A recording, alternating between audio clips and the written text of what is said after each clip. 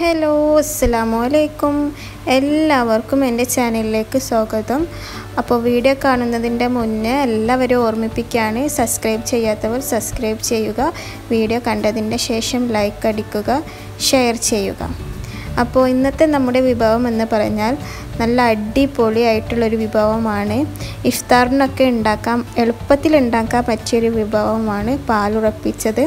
ആകെ കുറച്ച് സാധനങ്ങൾ മതി ഇത് ഉണ്ടാക്കാൻ എളുപ്പത്തിൽ ഉണ്ടാക്കാൻ പറ്റുന്നതുമാണ്. ഇത് ഒരു പുഡിംഗ് രൂപത്തിലാണെങ്കിലും ഇത് ചൂടോട് കൂടി കഴിക്കുമ്പോൾ നല്ല ടേസ്റ്റിയാണ്.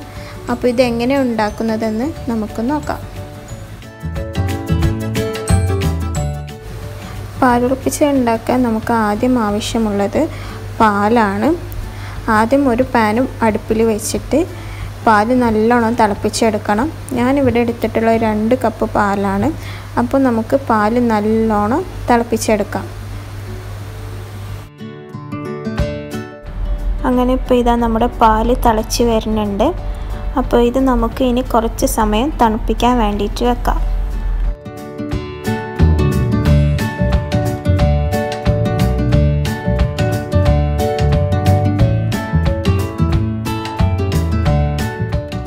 ഇനി നമുക്ക് പാലുറപ്പിച്ചതിലേക്ക് എന്തൊക്കെ സാധനങ്ങളാണ് ആവശ്യമുള്ളതെന്ന് നോക്കാം.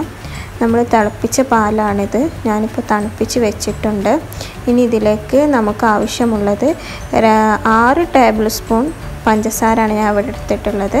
പിന്നെ നാല് കോഴിമുട്ട പിന്നെ കുറച്ച് ഏലക്കായ്.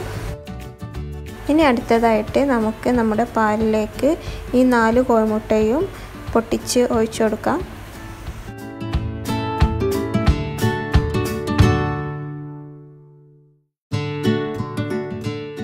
അങ്ങനെ നാല് കോഴിമുട്ടയും പൊട്ടിച്ചൊഴിച്ചിട്ടുണ്ട്. ഇനി നല്ലോണം മിക്സ് ചെയ്യണം. നല്ലോണം മിക്സ് ചെയ്യാഞ്ഞാൽ ഈ കോഴിമുട്ട അവിടെ ഇവിടെ ആയിട്ടൊക്കെ പാലിൽ കിടക്കും. അത് ഉണ്ടാവാൻ പാടില്ല. പിന്നെ പ്രത്യേകം ശ്രദ്ധിക്കണം. പാൽ ചൂടാറിയിട്ടേ കോഴിമുട്ട പൊട്ടിച്ചൊഴിക്കാൻ പാടുള്ളൂ. അല്ലെങ്കിൽ കോഴിമുട്ട വെന്ത് പോവും. അപ്പോൾ നമ്മൾ പാൽ നല്ലോണം ചൂടാറിയതിന് ശേഷം മാത്രം കോഴിമുട്ട പൊട്ടിച്ചൊഴിക്കുക. ഇനി നമുക്ക് അടുത്തതായിട്ട് പഞ്ചസാര ചേർത്ത് കൊടുക്കാം. ഞാനിവിടെ ആറ് ടേബിൾ സ്പൂൺ പഞ്ചസാരയാണ് ചേർത്ത് കൊടുക്കുന്നത്. നിങ്ങൾക്ക് ഇതിനേക്കാൾ മധുരം കൂടുതൽ വേണമെന്നുണ്ടെങ്കിൽ കൂടുതൽ പഞ്ചസാര ചേർത്ത് കൊടുക്കാം.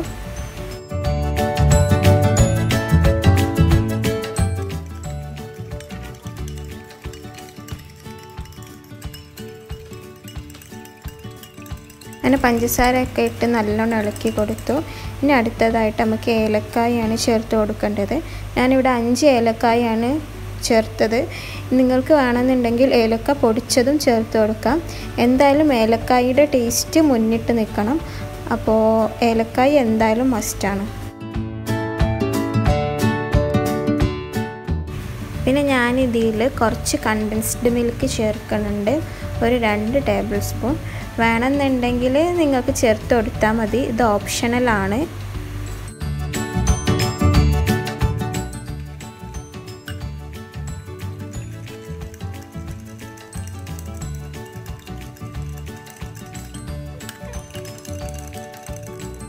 ഇനി അടുത്തതായിട്ട് നമുക്കിത് സെറ്റ് ചെയ്യാനുള്ള ഒരു ബൗൾ റെഡിയാക്കി എടുക്കാം.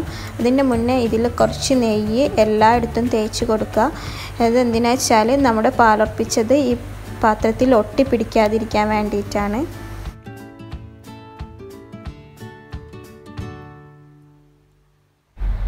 ഇനി അടുത്തതായിട്ട് നമുക്കിതൊന്ന് അരിച്ചെടുക്കാം. നമ്മൾ മിക്സും നമ്മുടെ ബൗളൊക്കെ റെഡി ആയിട്ടുണ്ട്. ഇതെന്തായാലും അരിച്ചെടുക്കണം. അല്ലെങ്കിൽ കോഴിമുട്ട അവിടെ ഇവിടെയൊക്കെ ആയിട്ട് കിടക്കും. ഇങ്ങനെ അരിച്ചെടുത്താൽ നമുക്ക് നല്ല സോഫ്റ്റായിട്ടുള്ള പാലുറപ്പിച്ചത് കിട്ടും. അപ്പോൾ നമുക്കിനി ഇതൊന്ന് അരിച്ചെടുക്കാം.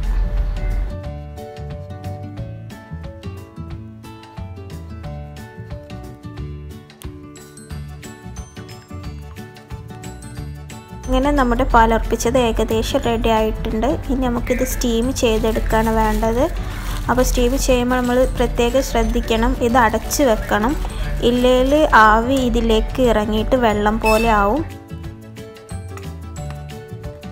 ഇപ്പോൾ ഏകദേശം ഒരു പത്ത് പതിനഞ്ച് മിനിറ്റ് കഴിഞ്ഞു. നമ്മളെ പാലുറപ്പിച്ചത് റെഡി ആയിട്ടുണ്ട്. അങ്ങനെ ഇതാ നമ്മുടെ പാലുറപ്പിച്ചത് റെഡി ആയിട്ടുണ്ട്. അപ്പോൾ ഒന്ന് ഡെക്കറേറ്റ് ചെയ്യാൻ കുറച്ച് ക്യാഷ്നട്ടൊക്കെ ഇട്ടിട്ടൊന്ന് ഡെക്കറേറ്റ് ചെയ്തേക്കണ്.